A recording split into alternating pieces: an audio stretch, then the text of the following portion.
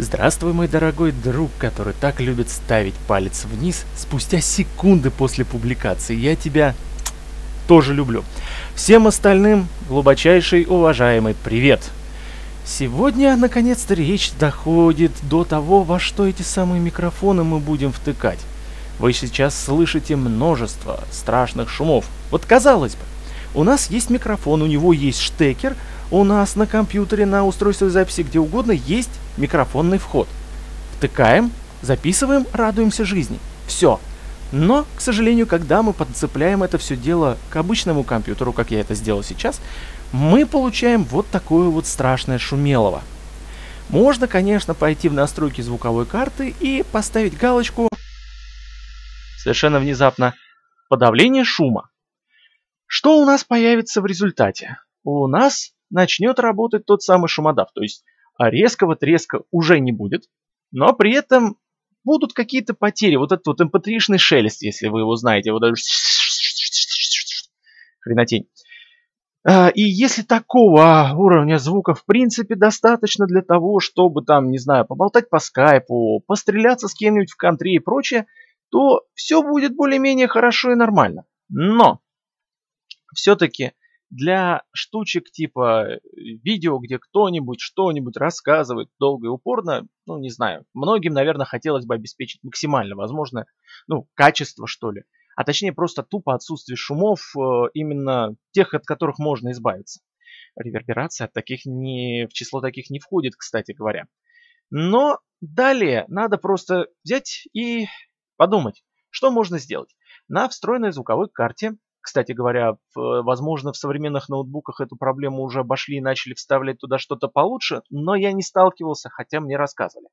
Что мы можем сделать? Мы можем разогнать этот самый микрофон каким-нибудь внешним устройством.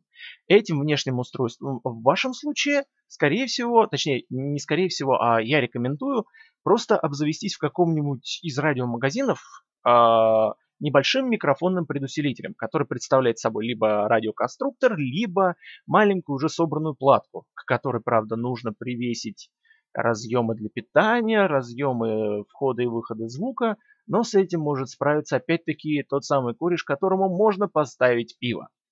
И сейчас примерно я продемонстрирую за неимением, за неимением именно того предусилителя, каких результатов вы примерно добьетесь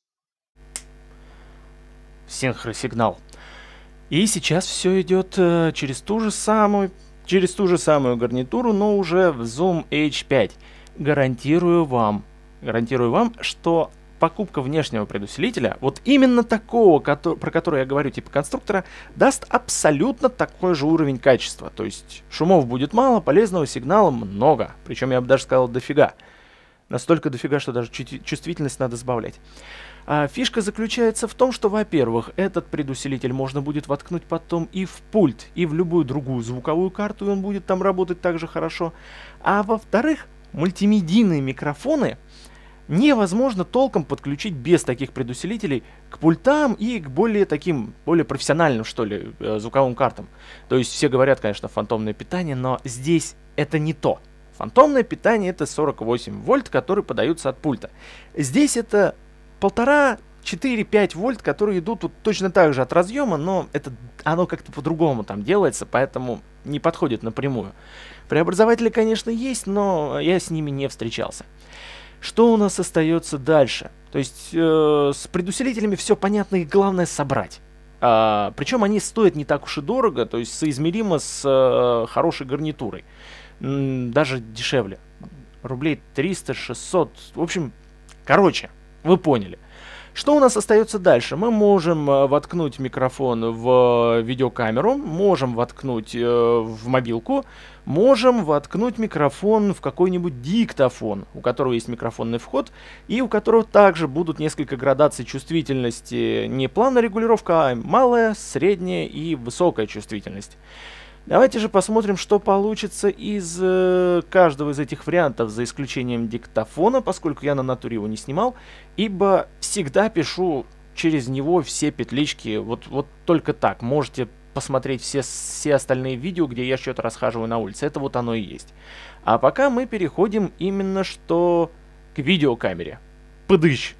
Самый очевидный и один из самых безгеморройных методов записи звука на видеокамеру является подключение внешнего микрофона в соответствующий вход на этой видеокамере. Проблема заключается только в том, что если камера достаточно простая, то в ней наверняка будет неотключаемый ARUS, то есть автоматический регулировщик усиления сигнала. На практике это значит следующее, что всегда звук будет вытягиваться на один какой-то общий уровень. То есть я могу говорить громко, оно будет приглушать. Я могу говорить тихо, но он будет повышать чувствительность так, что мы сможем слышать все возможные шумы вокруг. Но, тем не менее, звук получается четким и достаточно качественным, особенно если это позволяет микрофон. Что тут можно сказать? А, зато потом никакой возни с э, синхронизацией звука и вообще меньше дополнительных устройств. Вы просто берете, грубо говоря, палку, берете камеру, подключаете туда микрофон, вешаете его и все, можно снимать. А, будет удобоваримо, будет достаточно разборчиво и, в принципе, ну, ничего так. Переходим к следующему, к мобилке. В этом случае я просто подключил всю ту же многострадальную гарнитуру к телефону и пишу прямо на него. Благо, он умеет писать этот самый звук напрямую. А, недостатки следующие. Чувствительность фиксированная, во всяком случае, в моем телефоне. И, возможно, не со всеми гарнитурами оно будет нормально работать. Где-то может быть слишком громко, где-то может быть слишком тихо. Еще одна проблема э, заключается в том, что во время записи видео э, звук все равно получается довольно сильно пожат. И при вытягивании могут выйти или вылезти некоторые артефакты сжатия. Но если писать звук чисто, не сжато на мобилку при помощи отдельного приложения, можно его потом синхронизировать с внешней нормальной видеокамерой. А, солнце проступает. Отлично. Ну и, в принципе, на этом с видеокамерами, телефонами все. А, хотя нет, еще мелкая вещь. А, для того, чтобы подключить такую мультимедийную гарнитуру к телефону, требуется переходничок. Благо, что он стоит совершенно недорого. Вот совсем чуть-чуть. Ну и в качестве небольшого живого примера несколько секунд просто нормального а, звука с камеры на улице – безо всяких внешних микрофонов и прочего. Возможно, что-то различимо, но, опять же, хромает четкость. Та самая четкость, которая нам нужна тем, кто говорит что-то на камеру. Если просто сопровождать э, какое-нибудь видео рассказами, о, смотрите, здесь, как здесь ничего не происходит, то вполне себе ничего подходит, потому что близко, и потому что здесь-то нет переотражений. А вот если делать что-нибудь вот с такого расстояния, то слышимость будет хромать. Особенно, особенно если э, на улице или в помещении, где вся эта съемка происходит, достаточно шумно.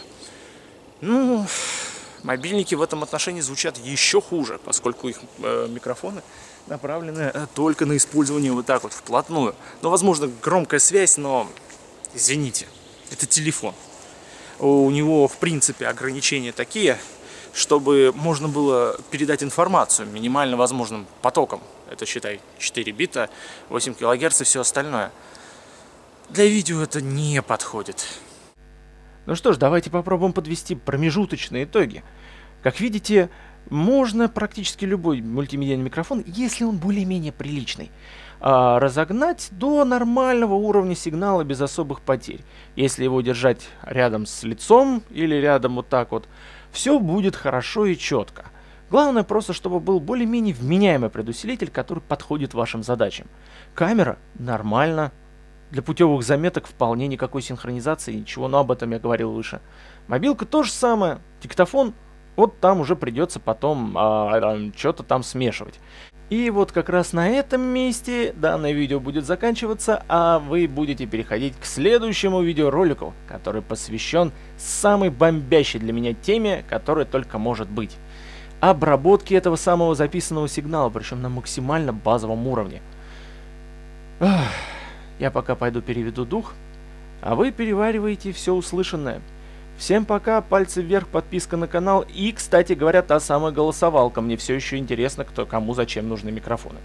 С вами был Шварценпух, относительно свободно, без сценария. Всем пока.